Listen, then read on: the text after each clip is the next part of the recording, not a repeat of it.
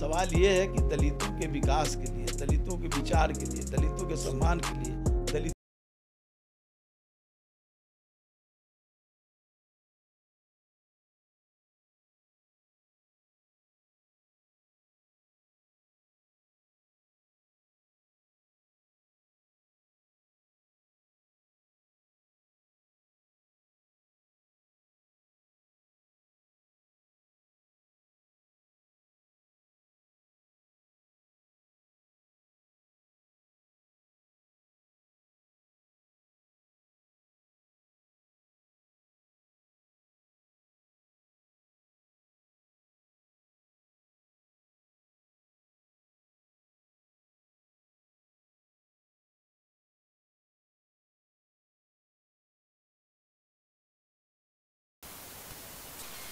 बिहार के digital media का जनक Bharat live ही देख रहे हैं आप। सर, महागठबंधन में और बिहार की राजनीति में एक अलग मांग होने लगी है कि दलित मुख्यमंत्री को लेकर के।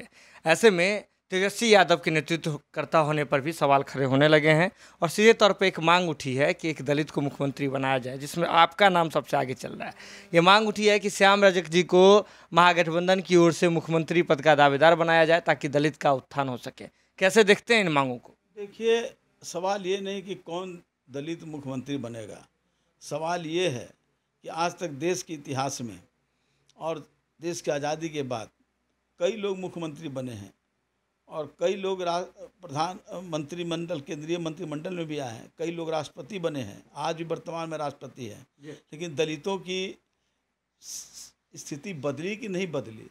सवाल ये नहीं है कि दलित का अगर राष्ट्रपति प्रधानमंत्री मुख्यमंत्री मंत्री बन जाए सवाल ये है कि दलितों के विकास के लिए, दलितों के विचार के लिए, दलितों के सम्मान के लिए, दलितों की सुरक्षा के लिए कौन नेतृत्व कर रहा है? लालू यादव एक थे, जो लालू यादव ने दलितों को आवाज़ देने का काम किया, स्वर देने का काम किया और तमाम लोग, राजद ही नहीं, महागठबंधन लोग, जो मनुवादी पार्टी के खिलाफ लोग हैं, जो आर के खिलाफ लोग हैं, तमाम लोगों ने सिर्फ़ तेजस्वी यादव के नेतृत्व में इस बात को स्वीकार किया कि इनके नेतृत्व में हम सरकार बनाएँगे। और उसके नेतृत्व में चुनाव भी हुए। और तेजस्वी यादव को सरकार बनते बनते कुछ साजिश के तहत रुक गए। और तेजस्वी यादव जी में ये बात का गुमान मैं कर सकता हूँ कि तेजस्वी यादव में दलित पिछड़ा गरीब गुरुआ नौजवान के सवालों को मजबूती से रखने वाले और मजबूती से उसके लिए प्रतिज्ञा ही नहीं, बल्कि उसके लिए प्रयत्नशील रहते हैं। इसलिए तेजस्वी यादव के अलावा कुछ चीज़ों पर चर्चा करके ये लोग इस तरह का भ्रम फैलाना चाहते हैं कि दलितों को अगर बना दें तो क्या हो जाएगा? ये दलित को बना कर के कुछ होने वाला नहीं है। ये सिर्फ़ दलितों को तोड़ना चाहते हैं, जो गठबंधन बन रहा है, दलित, मुस्लिम, पिछड़ा, गरीब का। इस गठबंधन को ये साजिश के तहत भ्रम फैला कर करके तोड़ना चाहते हैं। और ये अब दलितों के जो नौजवान हैं, जो शिक्षित हैं, वो समझ चुके हैं, इस जो आरएसएस और जो मनुवादियों के जो साजिश रही है, उस साजिश को समझ लिए हैं। और यही साजिश को समझ कर कर करके वो लोग एकजुट के साथ हैं और इसकी लड़ाई लड़ने के लिए संकल्पित हैं। और लड़ाई में आप देख लीजिए, अभी प्रोन्नति के आरक्षण का जब मामला आया और ये मामला को राज्य सरकार ने इसको ख़त्म कर रही थी या सिर्फ़ तिरासी परसेंट लोगों को आरक्षण प्रोन्नति देने का काम कर रही थी सत्तर प्रतिशत आरक्षण देने का काम वाले लोगों को प्रोन्नति नहीं दे रही थी। तो उस सवाल पर श्री तेजस्वी यादव जी ने भी मजबूती के साथ मुख्यमंत्री को भी पत्र लिखने का ही काम नहीं किया, बल्कि उसके लिए संकल्पित भी रहे कि हम इस लड़ाई को सड़क से सदन तक लड़ने का काम करेंगे। और उस लड़ाई में तेजस्वी जी के साथ चिराग पासवान में भी उस लड़ाई को मजबूती से सहयोग देने का काम किया और उन्होंने भी पत्र लिखा।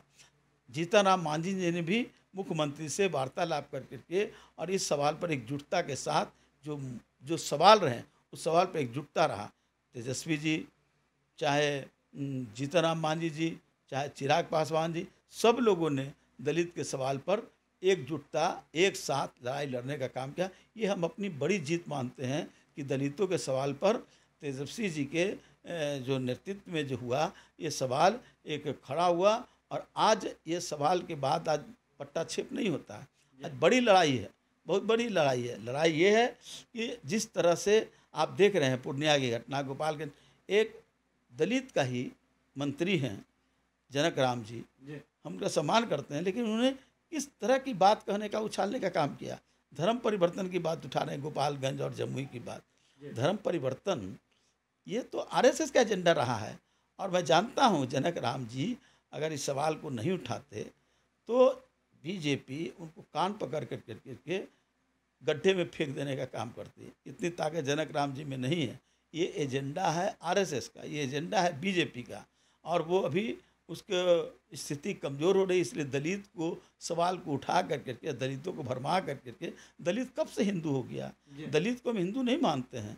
दलित को तो हिंदू से सताए हुए लोग हैं जिसका नाम है दलित।